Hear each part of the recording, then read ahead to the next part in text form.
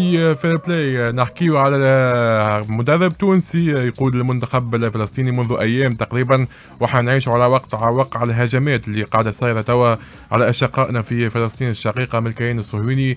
معنا بالتليفون مكرم دبوب الحارس السابق لترجي الجرجيسي أكيد نعرفون الناس الكل مدرب المنتخب الفلسطيني. مكرم أهلا بك مرحبا بك خويا اسلام ومرحبا بكل مستمعي إذاعة اكسبريس اف ام شنو أحوالك؟ شنو الأمور؟ والله لاباس الحمد لله. أول حاجة طمن طمن عليك أه، مكرم واكيد على كل اشقائنا في فلسطين. الساعة أنت وين بالضبط في فلسطين؟ أنا نعيش في مدينة رام الله آه يعني من ضواحي آه القدس يعني قريبة يعني تقريبا 20 دقيقة على مدينة القدس. الأوضاع يعني برام الله وبالضفه الغربية نسبيا يعني داخل المدن هادية. لكن يعني في الطرقات أو عند الحواجز يعني نقولوا إحنا مناطق التماس يعني الأوضاع يعني صعبة صعبة جدا يعني في مواجهات مع قوات الاحتلال. وإن شاء الله ربي يعني ينصرهم إن شاء الله ربي يحميهم. أكيد آمين إن شاء الله.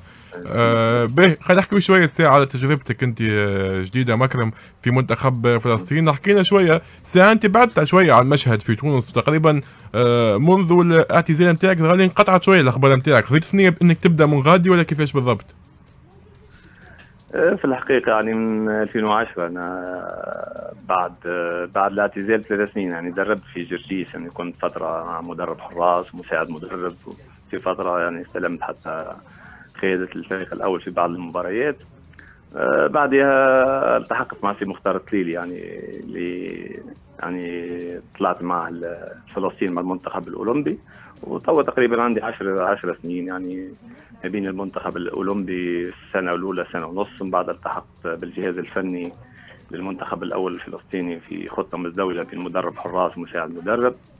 2018 يعني اشتغلت منصب مدير فني أو مدرب يعني أول منتخب الناشئين ومدرب عام المنتخب الأول. والسنة الماضية في 2020 استلمت منتخب فلسطين للاعبين المحليين وشاركت في بطولة دولية في بنغلاديش وفزنا بالبطولة. ومن شهر تقريبا 20 4 استلمت خطة مدير فني أو مدرب اول للمنتخب الوطني. امم أكيد شنو الأهداف اللي حطيتوها مثلا مع المسؤولين في الجامعة الفلسطينية؟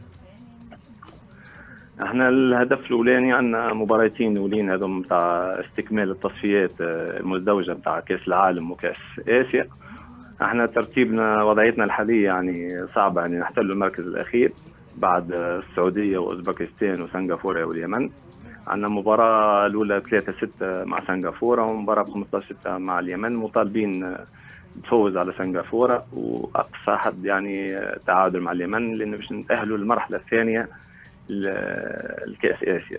وبعدها ب 10 أيام عندنا مباراة مع جزر الكومور يعني هذه باش نتأهلوا لكأس العرب إن شاء الله. امم في ظل الظروف اللي موجودة توا في آه، فلسطين اللي أكيد آه، نحبوها الناس الكل كيفاش ظروف العمل مكرم؟ والله الظروف صعبة شوية يعني تجميع اللاعبين أنا اليوم من المفروض امبارح كنت يعني بعد العيد إجازة العيد كنا نرجع معسكر أجلناه لليوم وفي نسبة كبيرة من اللاعبين اعتذروا خصوصا من سكان يعني نقولوا إحنا فلسطينيين 48 يعني في مواجهات كثيرة من المستوطنين يعني في الداخل ولحد هنا على الطرقات على الفلسطينيين يعني سواء بإلقاء الحجارة وحتى يعني بال يعني رمي الرصاص عليهم. يعني الوضع صعب. إحنا مجبورين إنه باش نشتغلوا في الظروف هذه ونتأقلموا يعني حتى اللاعبين الحالة النفسية نتاعهم تعرف في ناس عندهم في عندنا لاعبين معنا من غزة الاهالي معاهم يتواصلوا معاهم ال 24 ساعة يعني سواء كانوا لاعبين جهاز فني آه، كلهم بالتليفونات ولا على الأخبار يتبعوا يعني الوضع يعني حالة نفسية صعبة و... وإن شاء الله ربي يوفقنا إن شاء الله نكونوا عند حسن الظن إن شاء الله. امم فما شوية خوف ما عرفتش منك أنت ما حاولتش تروح لتونس وإلا لا لا, لا. لا ما ثماش خوف. أنا عندي 10 سنين ويعني صرت كيما الفلسطينيين هنا صارت حالة تأقلم مع الأوضاع. يعني بصراحة يعني صارت يعني عندنا حالة يعني صارت حالة تأقلم. يعني صارت حالة يعني مشهد يومي يعني سواء المواجهات على الحواجز ونشوف فيهم كل يوم حتى في الأيام العادية يعني بين يعني شرطة الاحتلال وبين بعض المستوطنين.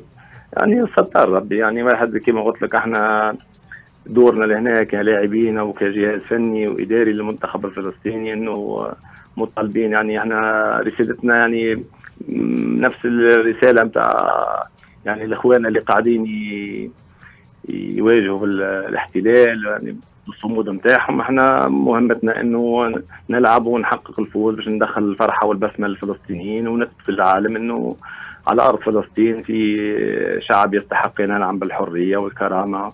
والأمن والازدهار يعني.